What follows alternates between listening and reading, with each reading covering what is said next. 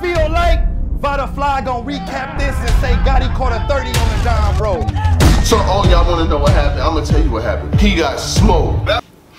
You already know what it is, man. Salute to the subscribers, that notification gang, rightsgangclothing.com for the merchandise. You heard me right, etc., etc. Don't let none of that get too far ahead of you.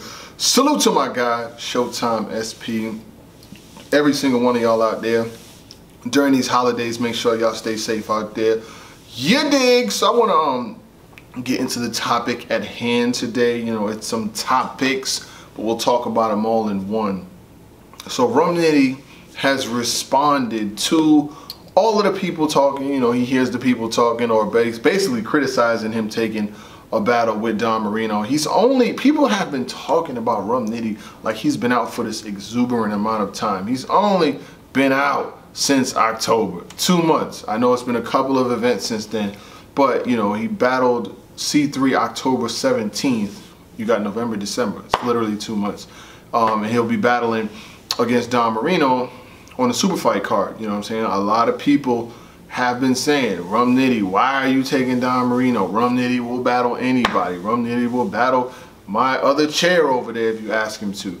But he did have some things to say about people's concerns. He said, I know y'all want to see me versus better opponents, but the cat and mouse game is for weird niggas, 100. And I would be a mother effing fool not to get the same types bags for lesser opponents. I'm not turning down a bag for you scary ass niggas. This might be my last year too, so enjoy now. Punch, line, go. You know, you got a punch in a goat, so it's a punch line, go. Um, I don't I don't subscribe too much to the this may be my last year notion because people say that every year. Arsonal's been retiring for the last five years. He's not retired yet. He's actually getting better. Uh, other MCs have retired over and over and over, and it just doesn't happen. Like in battle rap, you you you're only good as your last bag. So as long as that bag is still coming in, niggas ain't retiring. Like it, it ain't gonna happen. When it's a, as a blogger, like yo, I'm retired. No, that money's still coming in. That monetization, that views, they not going. They're not going nowhere. It ain't gonna happen, especially once the artist or the person has a um, built fan base. And like I said, a lot of people have had a lot to say about this, about this battle in particular, you know, because folks were saying, well, if he was going to battle a rookie, he should have battled Fonz. Fonz is outside. Fonz, Fonz, Fonz. Fonz has been getting a lot of acclaim because when you watch him, you get the feeling that he's going to be around for a while. He's going to be he's going to be pressure for people to deal with. He's not going nowhere and you're going to have to deal with that type of pressure. Ave, who is a punchline god, went toe to toe with Fonz. You know, I had Ave winning a dope battle, but that doesn't mean that Fonz didn't win as far as his stock and his career is concerned. So when you look at that, people are saying, why Don Marino? Why Don Marino? I seen somebody say he wanted Rum Nitty wanted Hollow to Don, but he got Marino to Don. Like, what is he doing the URL for him to have to take these kind of battles? But he just said some of the MCs and the opponents that he wants to battle are being scary or not wanting to come outside or giving him the runaround. Is he not going to get paid? If you can't get paid on the earthless big, you worthless kid. You don't even deserve to live. That's that old Cam'ron losing weight. But uh, yeah, he's so he's he not going to battle. He's got to battle, so he might as well just uh, take someone. So, but I do understand the sentiment of people's thoughts, like why the hell is Rum Nitty taking him? I put up a poll today that said, uh, I just asked, I wanted to see where, where we at with this, you know what I'm saying? Because I, I talked to my, um, you know, 20 something thousand Twitter followers on a daily basis about a multitude of things, whether it's sports, fucking Nets lost to the Hornets. We'll talk about that shit later. um, whether it's sports, life, different things like that, battle rap, you know. And I asked, I said, uh, what I said, I said what I said. I said, who wins asking for Showtime SP? You know, I think it's like asking for a friend. I'm asking for my friend. Rum Nitty, Don Marino, or delete this shit now. Rum Nitty, 50%. The other 46% went to delete this shit now, and 4% went to Don Marino. Um, unfortunately, Don Marino, in this regards, pretty much everybody, a lot of the fans, a lot of the people in the polls and shit like that have you losing. Um, but the good thing is, when you're expected to do so low and mostly everybody has got you counted out, the only thing you can do is rise. Um, I was one of the first people to blog on Don Marino when he battled against Chess. Uh, you know, in the one rounder joint that he had on um, Gates of the Garden. I thought he had a dope style. Um, I thought he was I thought he was punching. I, I seen the Mexican bars. He started to he, but even against when he battled against uh, Marv One, he did good in that battle. I don't like some of the opponents that he's had. I will say that I don't like some of the names when he moves up to started moving up to names. I didn't like him battling against Pass. I didn't like him battling against Marv One. Like those type of battles, like it's just it, it's beyond me. Like that's not gonna really help his career or his stock. So if he would have had more like URL type opponents, it might have helped build him a little bit more. But he had some battles against motherfuckers that people really didn't care about. So um, Daylyt even comments on the situation because I told y'all, I told y'all, y'all still with me? Y'all still with me? He said, uh, URL puts out the um, promo joint, uh, Rum Nitty versus Don Marino, Rookies versus Vets. Watch for free Saturday the 9th uh, at 5 p.m. Eastern. Watch for free. The caffeine joint only on the URL. You know that shit. And Daylyt jumped right in the comments on the URL post and said, Yep, we never battling now. SMH. Basically shooting down the notion that he's never going to battle Rum Nitty because Rum Nitty is taking the subsidiary type of battles that make people scratch their head. And as I've said this before in other joints, and like I said, this is no disrespect to nobody, keeping it a whole stack. When you battle certain people, it unattracts other people to you because they don't want the energy that you have off of coming off of other battles. You know what I'm saying? It's like kinetic energy. Motherfuckers be like, no, no, no, no, absolutely not. They don't want no parts of that shit. You know what I'm saying? And while it's crazy because in the battle rap shit, people do duck people. You have seen motherfuckers duck people before. They'll be putting out a name, a list of names. Uh, JC put out like a whole hit list last year and remarkably got nobody on the list. Like, he didn't, he didn't get anybody on the list. you know what I'm saying? Like, which is crazy. He put out like Lux and Mook and Surf and all these names and wound up going his whole year, taking about 15, 20 battles and got nobody. You know what I'm saying? Like, ah, it is crazy. Like, when you think about it, how do you go a whole year without getting any of those folks? Uh, he wanted, um, oh, he got, uh, he did get one. Wait, wait, wait, wait. I'm bugging. He got Charlie Clips. You know what I'm saying? Um, he got Charlie Clips on the on the app 10 months ago. He did get that.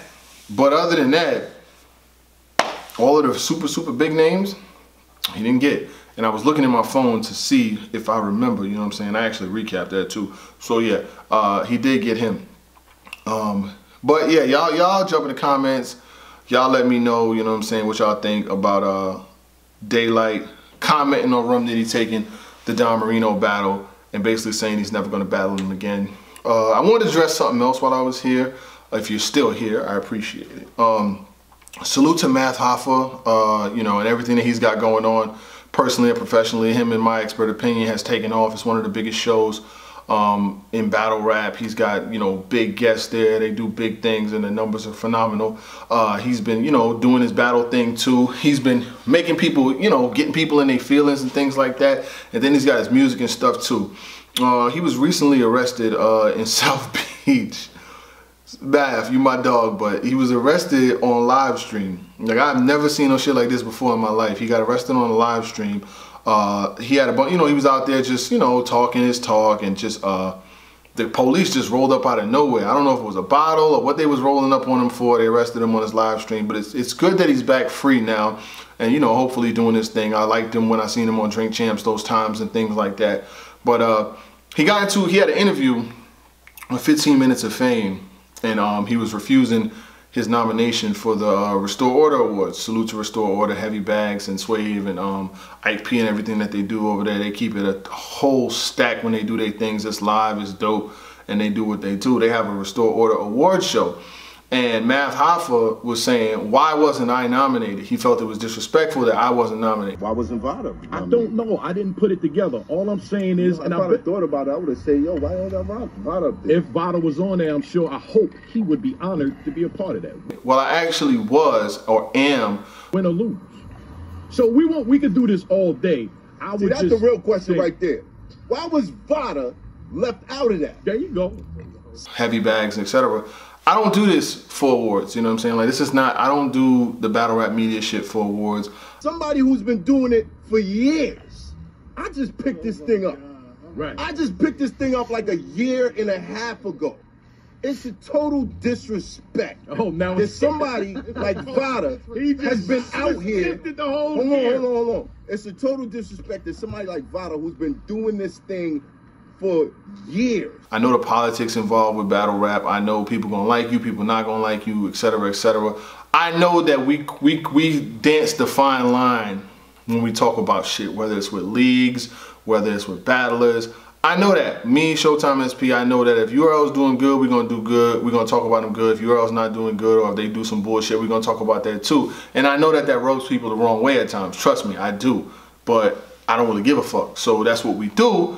And I know that we not always seen in like the the greatest regards, you know what I'm saying? Like it is what it is. Some people they be like, oh shit, here they go hating again. Oh there I go hating again. But um I will say this, I appreciate Math Hoffa for stepping up, you know what I'm saying, and making that claim like why was I not involved? Why is my name not on it?